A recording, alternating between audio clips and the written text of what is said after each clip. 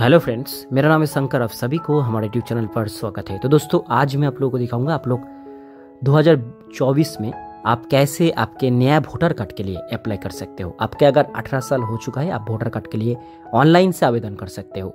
आवेदन करने के लिए आपको क्या क्या डॉक्यूमेंट्स की ज़रूरत है कैसे आपको अप्लाई करना है, उसका एक कंप्लीट प्रोसेस मैं आज आप लोगों को दिखाऊँगा इस वीडियो के अंदर। इसलिए वीडियो आपके लिए ज़्यादा हेल्पफुल होने वाली है। वीडियो को स्किप मत करिए।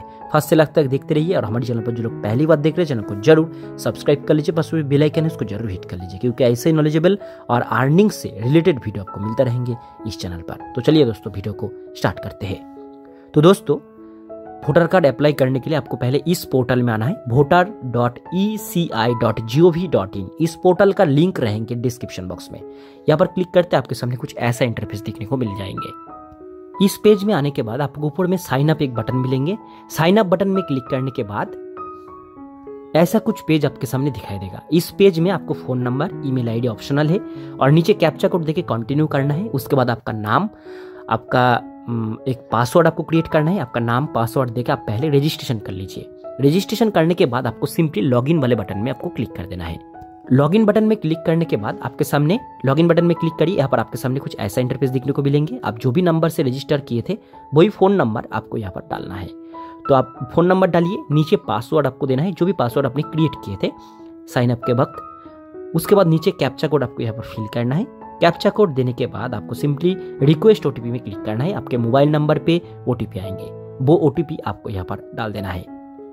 ओटीपी डालने के बाद आपको सबमिट करना है तो आपके सामने इंटरफेस दिखने को मिल जाएँगे, नया इंटरफेस यहाँ पर वेरीफाई एंड लॉगिन करिए ओ देने के बाद आपके सामने ऐसा पेज आएँगे, इस पेज में न्यू रजिस्ट्रेशन यहाँ पर आपको फॉर्म सिक्स आपको क्लिक करना है।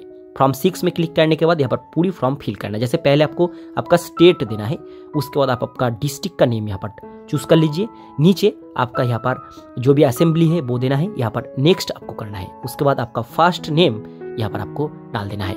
फ़र्स्ट नेम देने के बाद ऑटोमेटिक यहाँ पर आपका जो नाम, वो यहाँ पर हिंदी में या बंगाली में आ जाएँगे। उसके बाद आपका सर नेम डालिए। उसके बाद नीचे आपका एक फ़ोटो आपको अपलोड करना है।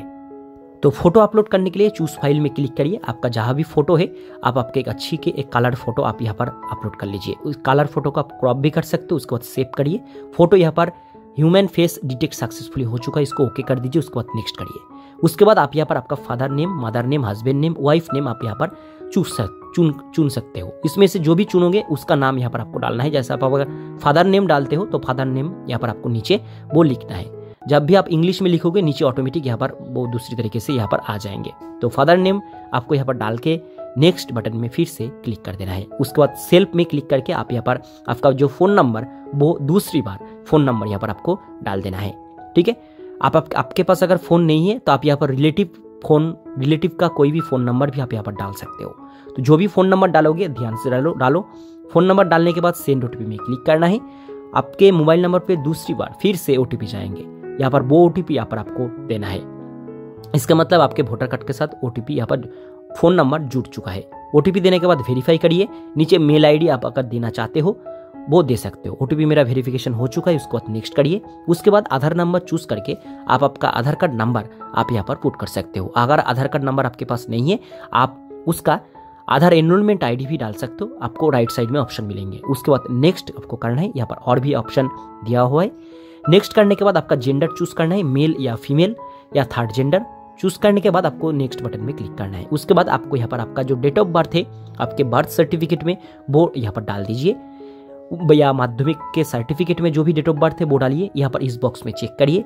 उसके बाद सिलेक्ट डॉक्यूमेंट्स में birth certificate Aadhaar card PAN card driving licence tenth या ट्वेल्व का सर्टिफिकेट या इंडियन पासपोर्ट इसमें से कोई भी एक डॉक्यूमेंट्स आप डाल सकते हो। जो भी डॉक्यूमेंट्स दोगे, उस डॉक्यूमेंट्स को आपको यहाँ पर, आपको जेपीजी या पीडीएफ फॉर्मेट में आपको यहाँ पर अपलोड कर देना है। उसके बाद फिर से नेक्स्ट आपको करना है। उसके बाद आपको यहाँ पर आपका हाउस नंबर देना है, आपका स्ट्रीट या रोड का नेम देना है, आपका विलेज नेम डालना है, ठीक है? और पोस्ट ऑफ़िस पिन कोड सब कुछ आपको यहाँ पर डालना है। आपका थाना का नाम, यहाँ पर पुलिस स्टेशन का नाम भी आपको यहाँ पर डालना है। तो ऐसे ही आप, आपकी पूरी एड्रेस जो भी आपके आधार कार्ड में है, वो पूरी एड्रेस आप यहाँ पर वो डाल दीजिए। जो एड्रेस आपके वोटर कार्ड में भी आ जाएँगे। तो ऐसे ही आपको पूरी एड्रेस आप इस बॉक्स में आप फिल करिए। तो एड्रेस फिल करने के बाद नीचे आपको डिस्ट्रिक्ट सिलेक्ट करना है। उसके बाद डिस्ट्रिक्ट में यहाँ पर आप वाटर कनेक्शन बिल या इलेक्ट्रिसिटी बिल आप दे सकते हो, आधार कार्ड। दे सकते हो, बैंक का पासबुक दे सकते हो, इंडियन पासपोर्ट दे सकते हो, लैंड रेवेन्यू दे सकते हो, डीड भी आप यहाँ पर अपलोड कर सकते हो आपके एड्रेस प्रूफ के हिसाब से। आप जो भी आपके एड्रेस है, उसके हिसाब से जो भी डॉक्यूमेंट्स डालना चाहते हो, डाल सकते हो। आप अगर आधार कार्ड डालना चाहते हो, आधार कार्ड दे दो, आधार कार्ड आप यहाँ पर अपलोड कर दो। उसके बाद नेक्स्ट बटन में फिर से आपको क्लिक करना है। उसके बाद यहाँ पर फ़िज़िकल हैंडीकैप, इसको आपको नो कर देना है। फ़िज़िकल हैंडीकैप हो तो इसका डिटेल्स दीजिए, नहीं तो इसको छोड़ दीजिए। उसके बाद नेक्स्ट करिए। उसके बाद आपके फैमिली मेंबर, किसी का भी एक का नाम यहाँ पर आपको डालना है, उसके साथ आपका रिलेशन क्या है, वो डालना है और उसका एपिक नंबर इसका मतलब वोटर कार्ड नंबर आपको यहाँ पर डाल देना है आपका फैमिली का फादर का हो मदर का हो, किसी का भी हो। तो एपिक नंबर डालने के बाद नेक्स्ट करिए, उसके बाद आपको यहाँ पर आपका गाँव या कस्बे का नाम आपको यहाँ पर डाल देना है, ठीक है?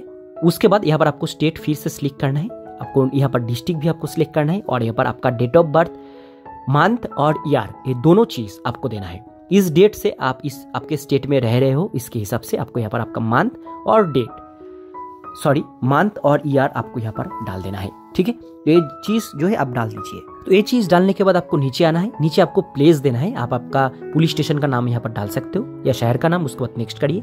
यहाँ पर जो कैप्चा कोड है, वो यहाँ पर आपको फिल करना है। ये जो कैप्चा कोड है, आपको दो दो बार ये कैप्चा कोड देना है। उसके बाद प्रीव्यू एंड सबमिट करिए। देखोगे दूसरी बार यहाँ पर कैप्चा कोड आएँगे। वो कैप्चा कोड फिर से आपको फिल करना है। आपको दो बार कैप्चा कोड देने के बाद आपको प्रीव्यू एंड सबमिट बटन में आपको क्लिक कर देना है। प्रीव्यू सबमिट बटन में जब भी क्लिक करोगे, आपके सामने पूरी फॉर्म प्रीव्यू के हिसाब से आ जाएँगे। पूरी फॉर्म एक बार अच्छी तरीके से आप यहाँ से चेकआउट कर लीजिए। अगर सब कुछ ठीक है सबमिट करिए, आपको एक एक्नोलॉजमेंट स्लिप मिल जाएँगे, वो आप प्रिंट आउट कर लीजिए। तो ऐसे ही आपको, आपके वोटर कार्ड के लिए ऑनलाइन से आवेदन करना है, बहुत आसान और इसी तरीके से।